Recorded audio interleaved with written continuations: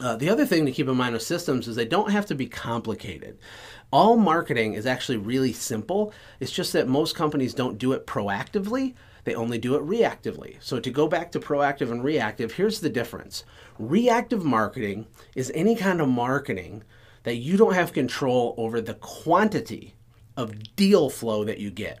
I'll say that again. You don't have direct control over the quantity of deal flow that you get. Deal flow is just a fancy way of saying leads, the amount of phone calls you get.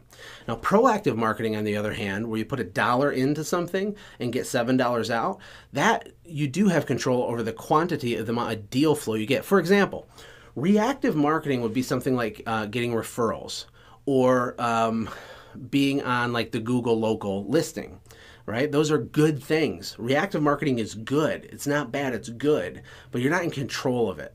So what I mean is is let's say you get 25 clicks a month onto, you know, ABC Maid Service in Cincinnati, Ohio. That's awesome. Like we want those clicks. Like sell those people your services. But how do we take the 23 clicks a month and turn it into 150, you know, clicks a month. We, we can't, right?